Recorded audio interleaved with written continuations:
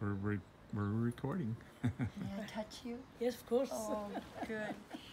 Uh, so, to all of our beloveds around the world, I have the privilege of meeting one of our own of the heart and the Holy Spirit.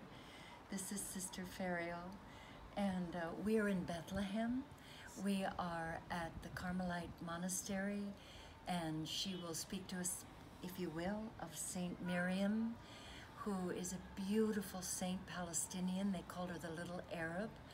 And one of the beautiful messages she spoke of is, let the light of the Holy Spirit light up the world.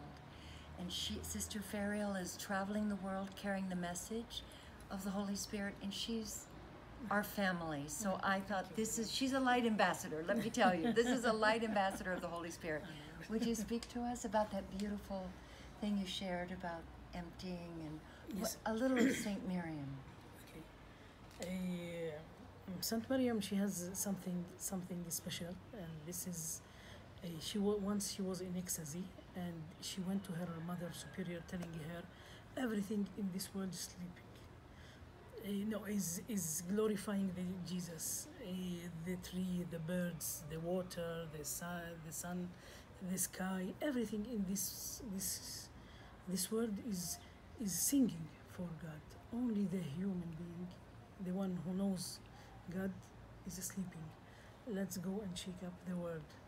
And we, we started our mission with Mariam after the canonization uh, with this mes- message. We want to, to go to the people telling them, wake up, wake up, the Holy Spirit inside you. You must, you must go deep inside to see this, this God, this Holy Spirit that you are, you are from. We are, we are from the Holy Spirit. He's, he's inside us. He's give, he gave us the light to go and go for the people, for all of them, not for a part, for all the world. And, and this is, we will not go if we are keeping our ego, ourself inside. So the, the only thing that Mariam had done, and she really done it, is she took her ego inside, out, and she put all inside, all the capacity inside for the Holy Spirit. Always she told him, Mama, my mother. When she saw something or she he gave her an uh, extase anything, and she didn't understand, she, always she called the Holy Spirit to explain for for her what she wants. And I always tell the people, please go back to the Bible with the Holy Spirit. Like this, He will explain for you the deep, deepness and the, the riches of the Holy, the Holy Bible, because this is life.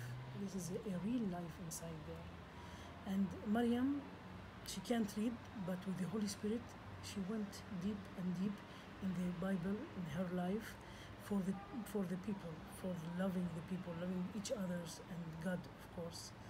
So she was empty inside, little little nothing she was, and the Holy Spirit have seen that there is a place for him there.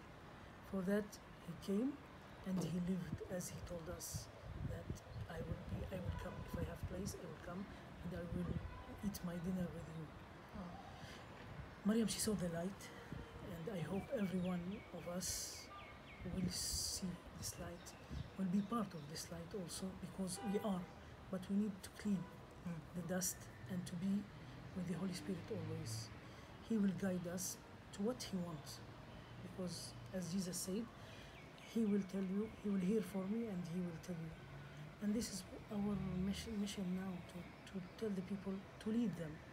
Go to the light you are in the darkness. Go, please, go to the light. Please be part of your Holy Spirit. Thank you. Thank you. I'm so happy Thank to you. meet you. I love her, and we will see her next year in Bethlehem. I hope so. I hope so. Thank I you.